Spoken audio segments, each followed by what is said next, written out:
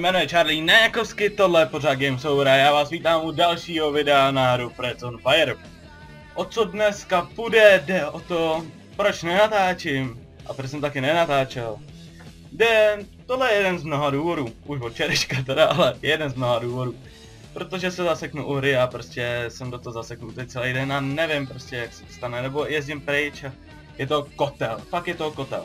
A dneska si ukážeme tuhle tu hru, která se jmenuje Freds on, Freds on Fire, jak jsem říkal. Je to takový Guitar Hero na kompa. Fakt se mi to strašně povedlo, líbí se mi to hodně. A máte tady kotel písniček, máte určitě rádi hudbu, tak tohle se vám bude líbit. A já jsem si nastahoval System of a Down, Nirvana, ACDC a Linkiny a Evanescence tam mám nějaký Red Hot Chili Peppers, ale chtěl bych vám ukázat hru, je to taková odpočinková hra.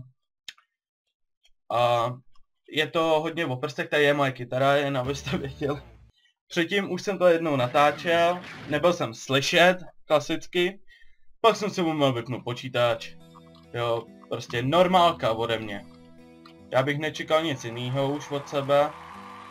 A o co v téhle hře jde? Musíte drnkat na, na tóny a vybrnkávat.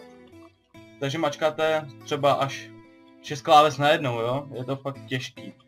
Ale když už si na to vaše prsty zvyknou, je to parádička. Já to mám v ruce asi 6 hodin zhruba. Hrál jsem to asi do 5 do rána, takže fakt mě to strašně bavilo. Tahle hra je super. Jo, pokud máte rádi hudbu, jakože jo, už jsem to říkal, tak tuhle hru si zamilujete. Můžete to hrát s kamarádama, můžete se předhánět prostě, tyhle. Stahovat si tam různé písničky do toho. Je to fakt mazec, dá se to stáhnout kdekoliv, myslím, že to je freeware, takže žádný piráti v tom nehrozejí. Teďka můžete vidět, že jsem dal 50 tónů za sebou, což je celkem dobrý. Pak to ještě ukazuje 100, pak 200 a víc už jsem neviděl. Že maximálně jsem dal 217 za sebou a to jsem dohrál celou písničku na 100%. Vpravo nahoře můžete vidět vaše skóre, který postupně přibývá podle toho, jak hrajete. Pod tím máte, kolik jste dali zrovna konkrétně strun za sebou, nebo těch tónů.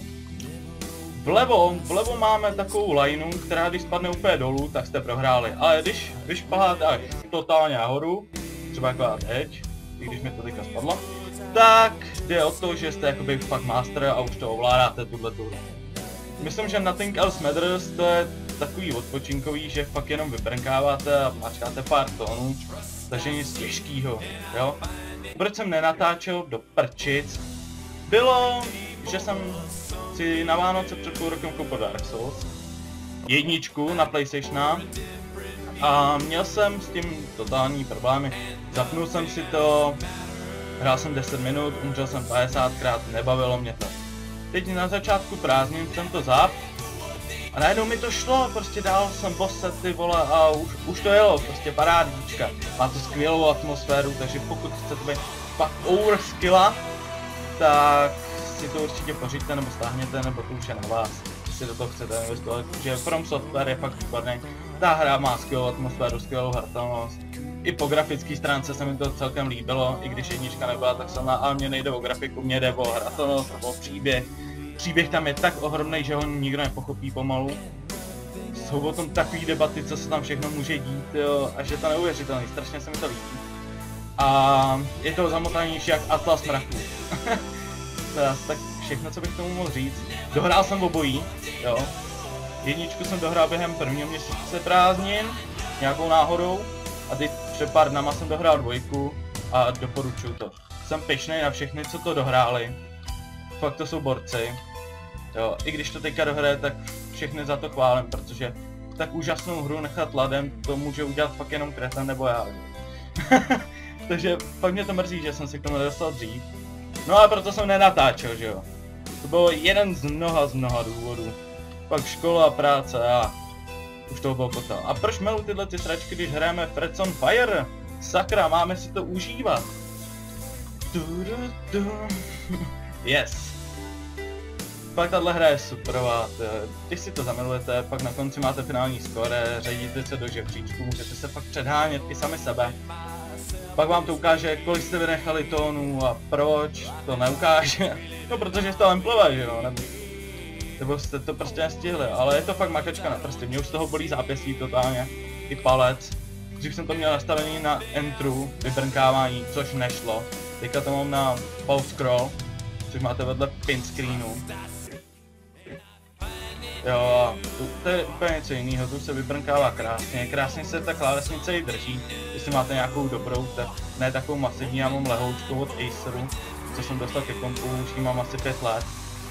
A je to parádička, nestěžuju se na to, akorát, že jak jsem to hra, natáčel po druhý, tak jsem si máčknul tlačítko sleep, takže jsem mi to uspal celý kom. Takže fakt paráda. já tam mám hodně vymožeností na tom a je to, je to mrda, fakt já se nemůžu stěžovat. A tahle hra ještě lepší na tom. A hlavně ty tóny můžete držet třeba takhle už předem, pak jenom vybrnknete. Což je celkem primitivní, ale zdání může klamat, dámy a pánové. Ale teďka by tady bylo solo, to vím, to umím, to není zase tak těžký, ale dáme si trošku něco více rytmičtějšího, dáme si písničku od Adventure Sevenfold, která se mně strašně líbí. Protože je fakt, fakt rytmická. Jo, vyblbnete se na tom, tohleto, na to jsem dal na hodně bod. Tohleto, to je ono, gitar. A dám si to na easy, protože medium, to už je fakt, to je jak expert pomalu, jo. Nechtěl, nekoukal jsem na experta, protože těch pět strun už nezvládám, já zvládám tak čtyři.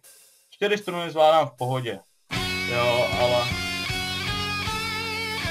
I tohle už je trošku takový hardcore, no. Teďka mi lidi fandějí, to je právě to overdose když tam máte ty zlatý políčka, jak jsem měl teďka ze, za, ze začátku, tak jde o to, že tím si nabuzujete to obecenstvo, aby vás fandili a věřili jste, že se pravá roková hvězda, která tu umí rozjedná klávesnici. ne, na kytaru Tak jo, a jedem. Já se chci dostat k části, kde je to fakt sranda, že musíte fakt klikat jako hovada, abyste to všechno stíhali. Jo, takže mezi tím si můžeme promluvit o našem spasiteli Ježíši Kristovi, pokud máte zájem, můžete mi k tomu něco říct. A pokud, bys, pokud se vám tahle hra líbí a chtěli byste ještě vidět pár písniček, jak já jsem toho totálka demonstruju a ničím, to je totální destrukce na prsty pro mě. Já je mám strašně nehbitý, takže pokud byste chtěli vidět nějakou ještě písničku ode mě, tak mi to určitě napište do komentářů, já budu strašně rád. A určitě vám to doporučuji, tuhle hru si musíte prostě zahrát. To nejde tak říct prostě, že je to píčovina, nebo já nevím jak. Ale mě tahle hra totálka okouzla. Já mám milou hudbu, vždycky jsem chtěl hrát na kytaru, tak jsem na ní hrál. Ale protrénujete se na tom prsty, že máte bicí a vaše přítelkyně to pak ocení. teďka se mi to maličko seklo, že tam byl střih ve videu, sakra. A tohle už musíte vybrnkávat strašně rychle, no. Pak ještě tam vpravo můžete vidět, jak se trefou na struny, občas tam je excelent, občas perfekt, občas že jen tak tak, občas že pozdě, když jsem to úplně minul. A je to paráda. Takhle, když si to pak dokážete zahrát už, třeba na tom médium, tak to vás obdivuju, protože to je fakt těžký už. Je to fakt hodně těžký. Je to o prstech, no. Teď ani nevím, jak jsem to zahrál, no, když jsem to spíš podělal.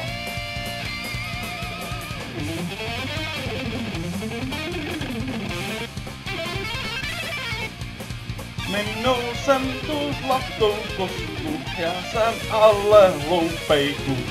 Jo. Tak jo, tohle to by bylo ode mě všechno, takže pokud se vám hra líbila a doufám, že ano, tak mi dejte like, komentář, odběr, napište mi, jestli chcete ještě nějakou písničku. A nevím, můžeme s toho udělat nějaký jakoby let's play, nebo no takový gameplay na pokračování, podle toho, co vy se napíšete. A jestli máte nějakou oblíbenou písničku, já se ji pokusím stáhnout a nějak to zahrát. A většinou, co stahují ty písničky, tak tam si nemůžete zvolit obtížnost, takže to je většinou expert.